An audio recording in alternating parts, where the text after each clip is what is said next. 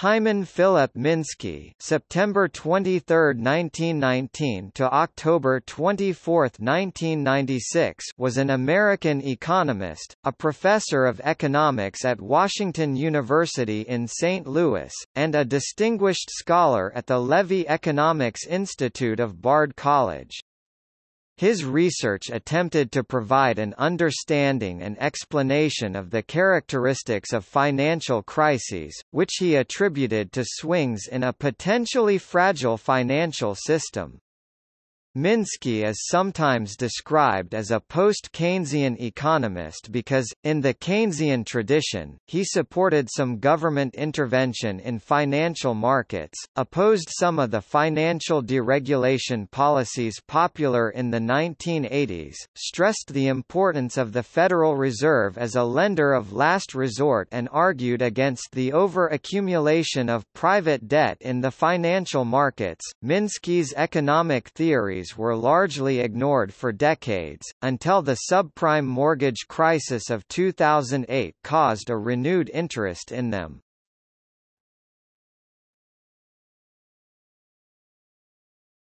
Topic: Education. A native of Chicago, Illinois, Minsky was born into a family of Menshevik emigrants from Belarus. His mother, Dora Zakon, was active in the nascent trade union movement. His father, Sam Minsky, was active in the Jewish section of the Socialist Party of Chicago. In 1937, Minsky graduated from George Washington High School in New York City. In 1941, Minsky received his B.S. in mathematics from the University of Chicago and went on to earn an M.P.A. and a Ph.D. in economics from Harvard University, where he studied under Joseph Schumpeter and Wassily Leontief.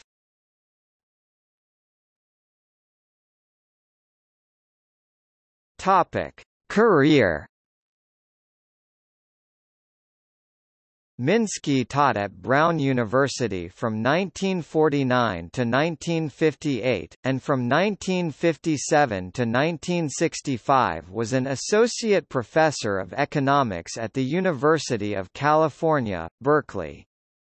In 1965 he became professor of economics of Washington University in St. Louis and retired from there in 1990. At the time of his death he was a distinguished scholar at the Levy Economics Institute of Bard College.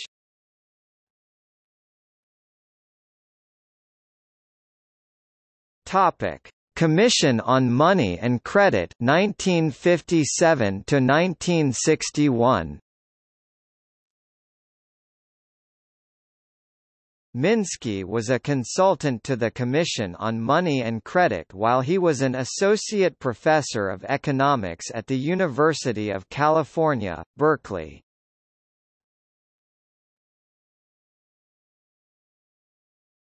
Topic: Financial theory.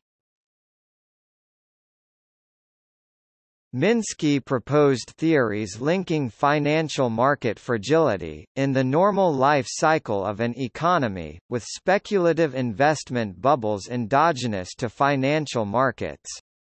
Minsky stated that in prosperous times, when corporate cash flow rises beyond what is needed to pay off debt, a speculative euphoria develops, and soon thereafter debts exceed what borrowers can pay off from their incoming revenues, which in turn produces a financial crisis. As a result of such speculative borrowing bubbles, banks and lenders tighten credit availability, even to companies that can afford loans, and the economy subsequently contracts. This slow movement of the financial system from stability to fragility, followed by crisis, is something for which Minsky is best known, and the phrase, Minsky moment refers to this aspect of Minsky's academic work. He offered very good insights in the 60s and 70s when linkages between the financial markets and the economy were not as well understood as they are now. Said Henry Kaufman, a Wall Street money manager and economist. He showed us that financial markets could move frequently to excess. And he underscored the importance of the Federal Reserve as a lender of last resort. Minsky's model of the credit system, which he dubbed the financial instability hypothesis, FIH, incorporated many ideas already circulated by John Stuart Mill, Alfred Marshall, Knut Wicksell and Irving Fisher. A fundamental characteristic of our economy, Minsky wrote in 1974, is that the financial system swings between robustness and fragility and these swings are an integral part of the process that generates business cycles. Disagreeing with many mainstream economists of the day, he argued that these swings, and the booms and busts that can accompany them, are inevitable in a so-called free market economy, unless government steps in to control them, through regulation, central bank action and other tools. Such mechanisms did in fact come into existence in response to crises such as the Panic of 1907 and the Great Depression. Minsky opposed the deregulation that characterized the 1980s. It was at the University of California, Berkeley that seminars attended by Bank of America executives helped him to develop his theories about lending and economic activity, views he laid out in two books, John Maynard Keynes 1975, a classic study of the economist and his contributions, and Stabilizing an Unstable Economy 1986, and more than a hundred professional articles.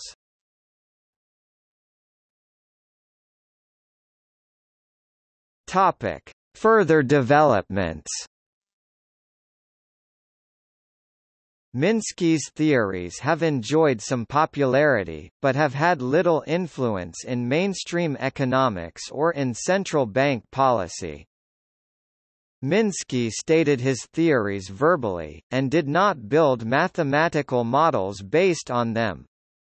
Minsky preferred to use interlocking balance sheets rather than math equations to model economies.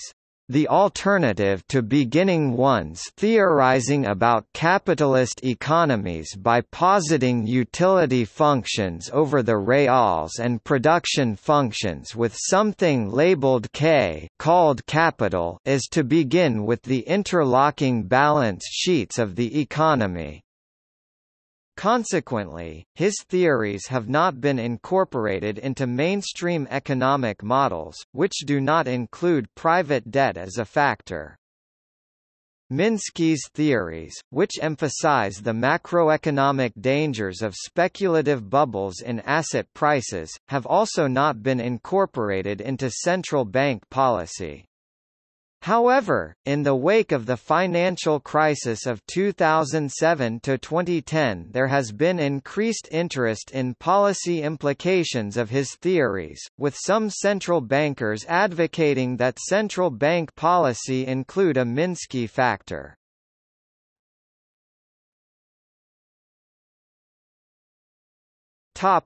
Minsky's theories and the subprime mortgage crisis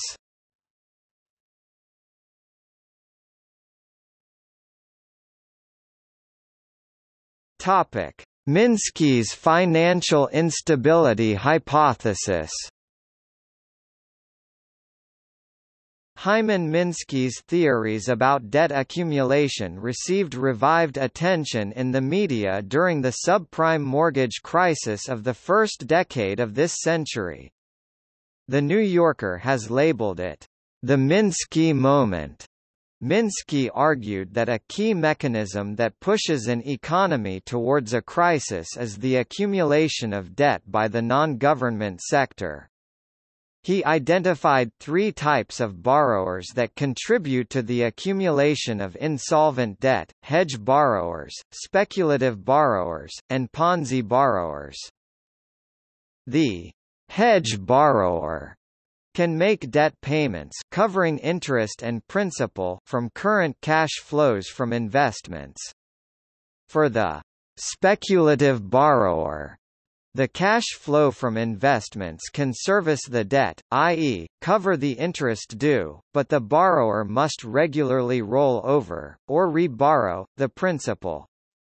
The Ponzi borrower Named for Charles Ponzi, see also Ponzi scheme borrows based on the belief that the appreciation of the value of the asset will be sufficient to refinance the debt but could not make sufficient payments on interest or principal with the cash flow from investments, only the appreciating asset value can keep the Ponzi borrower afloat.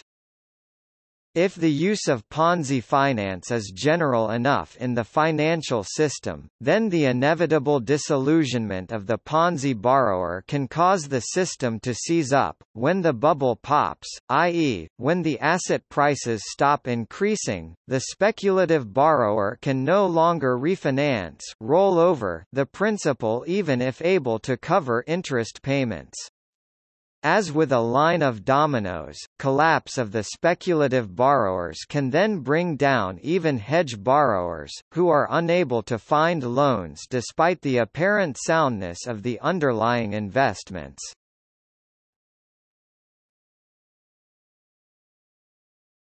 Topic: Application to the subprime mortgage crisis. Economist Paul McCulley described how Minsky's hypothesis translates to the subprime mortgage crisis. McCulley illustrated the three types of borrowing categories using an analogy from the mortgage market. A hedge borrower would have a traditional mortgage loan and is paying back both the principal and interest. The speculative borrower would have an interest-only loan, meaning they are paying back only the interest and must refinance later to pay back the principal, and the Ponzi borrower would have a negative amortization loan, meaning the payments do not cover the interest amount and the principal is actually increasing. Lenders only provided funds to Ponzi borrowers due to a belief that housing values would continue to increase. McCulley writes that the progression through Minsky's three borrowing stages was evident as the credit and housing bubbles built through approximately August 2007. Demand for housing was both a cause and effect of the rapidly expanding shadow banking system, which helped fund the shift to more lending of the speculative and Ponzi types, through ever riskier mortgage loans at higher levels of leverage. This helped drive the housing bubble, as the availability of credit encouraged higher home prices. Since the bubble burst, we are seeing the progression in reverse, as businesses deleverage, lending standards are raised and the share of borrowers in the three stages shifts back towards the hedge borrower. McCulley also points out that human nature is inherently pro-cyclical, meaning, in Minsky's words, that from time to time, capitalist economies exhibit inflations and debt deflations which seem to have the potential to spin out of control. In such processes, the economic system's reactions to a movement of the economy amplify the movement, inflation feeds upon inflation and debt deflation feeds upon debt deflation. In other words, people are momentum investors by nature, not value investors. People naturally take actions that expand the high and low points of cycles. One implication for policymakers and regulators is the implementation of counter-cyclical policies, such as contingent capital requirements for banks that increase during boom periods and are reduced during busts.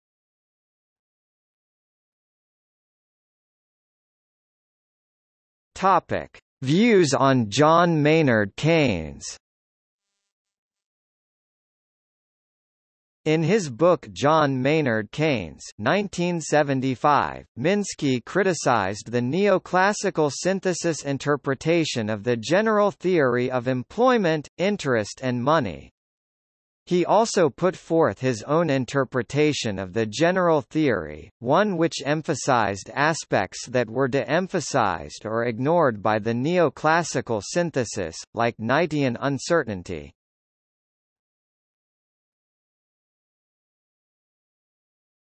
Topic: Selected publications. 2013 Ending Poverty, Jobs, Not Welfare. Levy Economic Institute, New York. ISBN 978-19-3619-2311. 2008 First. Pub, 1975. John Maynard Keynes. McGraw-Hill Professional, New York. ISBN 978-0-07-159301-4 2008 First. Pub, 1986. Stabilizing an Unstable Economy. McGraw-Hill Professional, New York. ISBN 978-0-07-159299-4 1982 Can It Happen Again? M. E. Sharpe, Armonk. ISBN 978-0-87332-2133 Winter 1981–82 the Breakdown of the 1960s Policy Synthesis. New York, Telos Press. Archived at Hyman P. Minsky Archive, 166.